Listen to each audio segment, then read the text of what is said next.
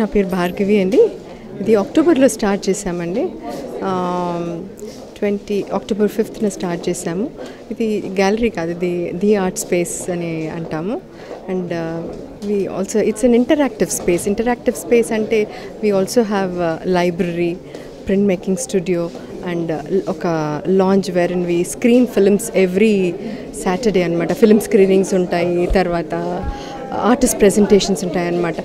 Every it's a motivation for the artist to speak about their own work ఇది particular two months back ఒక woodcut camp చేసామన్నమాట దాంట్లో artist అందరూ కూడా best of ఎవరైతే ఉడ్కట్ art చేస్తారో వాళ్ళని ఇండియాలో ఉన్న బెస్ట్ ఎవరైతే పిక్ ఉన్నారో వాళ్ళని మన లోకల్లో ఎవరైతే వాళ్ళు చేస్తారో వాళ్ళ బెస్ట్ ఉన్న వాళ్ళని పికప్ చేసుకొని ఇక్కడ ఒక క్యాంప్ కండక్ట్ చేసామన్నమాట ట్వ నైన్టీన్త్ ఫిబ్రవరి నుంచి ట్వంటీ సెవెంత్ ఫిబ్రవరి వరకు. మల్టీ కలర్ ఉడ్కట్ ప్రింటింగ్ అనేది ఫస్ట్ టైం ఇన్ ఇండియా జరిగింది. మన ది ఆర్ట్ స్పేస్లో It's one of its kind. It's never been done in recent times.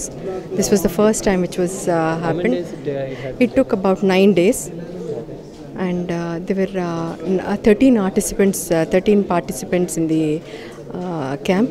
About uh, Vaikuntham గారు మన లోకల్ నుంచి తెలుసు కదా వైకుంఠం గారు రాజేశ్వరరావు గారు శ్రీకాంత్ కుర్వా సియాజుద్దీన్ అమర్ పద్మారెడ్డి అండ్ బరోడా నుంచి MS University HOD Vijay Bagodi Sudhakar Reddy గారు అండ్ యంగర్ జనరేషన్ నుంచి జగదీష్ తమ్మిని ని Pratap Modi from Baroda PC Shekhar from Srikakulam and Kiran and Gayatri from Baroda again Padmareddy from Hyderabad Karuna from Hyderabad again. వీళ్ళందరూ పెద్ద eminent ఆర్టిస్టులు.